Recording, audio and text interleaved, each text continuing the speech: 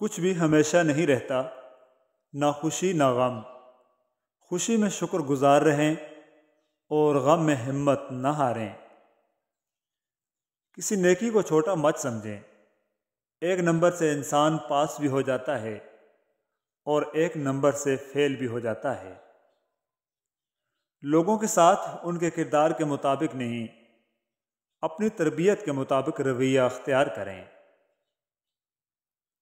या खायनतुल आयुन। वो निगाहों की ख़यानत को भी जानता है।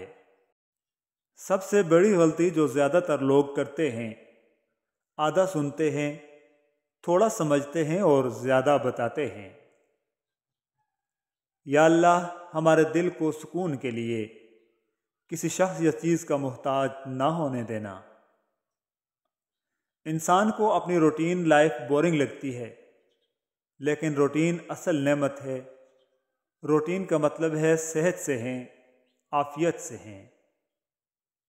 कुछ चीज़ें मुकद्दर और हकीकत दोनों में नहीं होती, लेकिन अल्लाह पर यकीन और तवक्ल रखने से सब कुछ हो जाता है, जिसका गुमान भी नहीं होता। बहुत थोड़ा सा वक्त लगता है उम्रों के ढलने में, लज्जतों के ख़त्म होने में, लोगों की नज़रों से ओझल होने में चाहतों के ख़त्म होने में बहुत थोड़ा सा वक्त लगता है। वो अगर चाहे तो अपने गुनाहगार बंदे को भी अपनी तलाश की तलब लगा दे। इल्म क्या है? इल्म वो जो किरदार से चल के, इल्म वो जो ज़ुबान को नरमी दे। इल्म वो जो बदला नहीं बल्कि मुआफ़ करना सिखाए। इल्म वो जो बर्दाश्त के साथ ज़िंदगी गुजारना सिखाए। इल्म वो जो बड़ों का अदब करने वाला बनाए। इल्म वो जो छोटों से शफकत का मामला करने वाला बनाए। इल्म वो जो ज़िंदगी में रब की रज़ा में राज़ी रहने की हिम्मत दिलाए। अल्लाहुम्मा इन्नी असअलु का इल्म नाफ़ान ए अल्लाह, बेशक मैं तुझसे नफ़ा देने वाले इल्म का सवाल करता हूँ। इंसान के अंदर जो कैफियत और मंज़र होता है, इंसान की आँखें बाहर भी उसे ही दिखाती हैं। अगर इंसान की अजियतें और तकालीफ उसके माथे पर लिखी होती तो जिनसे आप हसद करते हैं, उन पर रहम आता। बानो कुछ फरमाती हैं, हम अक्सर उन लोगों को तलाश करते हैं जिनसे हम मोहब्बत करते हैं, और उन लोगों से बेखबर रहते हैं, जो हमसे मोहब्बत करते हैं। जिनको रब से मांगने की आदत हो वो कभी भी खाली हाथ नहीं रहते, बेशक। अगर वो ज़िंदगी में फ़कत एक बार मेरा हो जाता तो मैं ज़माने की किताबों से लफ्ज़ बेवफाई मिटा देता। कर ले तोबा, अभी भी वक्त है। फिर न कहना के हिसाब सख्त है। ज़िंदगी भर एक दूसरे का दोस्त बने रहना, चंद रोज की आशिक होने से बेहतर है। ज़िंदगी इतनी सस्ती नहीं कि इसे लोगों के तलख रवैयों की वजह से हार दिया जाए। मुस्कराइए कि यह ज़िंदगी सिर्फ़ उस रब की इमानत है, जिसने इस कायनात के किसी शे को बेकार नहीं बनाया। शुक्र अदा करें कि आपसे मोहब्बत करने वाला कोई आम नहीं, बल्कि कायनात का रब है। अच्छा हुआ तूने नज़रअंदाज किया मुझे, बहुत गुरूर था मुझे तेरे होने का। रोता हुआ हर लम्हा मुस्कुराएगा, सबर करे दिल अपना भी वक्त आएगा। अगर लोग अपनी बातों से गीबत, तोहमत और बहतान निकाल दें तो पीछे सिर्फ़ खामोशी रह जाती है, जो कि एक बेहतरीन इबादत है। चीज़ों की अहमियत नहीं होती, वो कभी ना कभी हमें मिल ही जाती हैं। सिर्फ़ इंसान ही हैं जिनका कोई नेमल बदल नहीं होता। वो दोबारा नहीं मिलते। जब तुम्हारे घर रिज्क में तंगी महसूस होने लगे तो अपनी बहनों और बेटियों को दावत पर बुला लिया करो। अल्लाह ताला सबको रिज की फरागी अता फरमाए। इंसान कमज़ोर नहीं, नफ्स कमज़ोर है।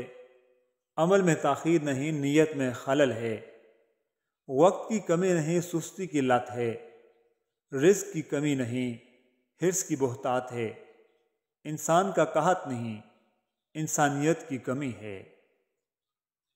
मुखलिस शख्स हर बार खामोशी इख्तियार कर लेता है, इसलिए नहीं कि वो बुजदिल होता है, बल्कि इसलिए कि उसे उसका ज़मीर इजाज़त नहीं देता कि वो अपनों को उन्हीं के लहजे में जवाब दे। आजमाइश भी अल्लाह की तरफ़ से तुम्हारे लिए यकीन का इम्तहान होता है।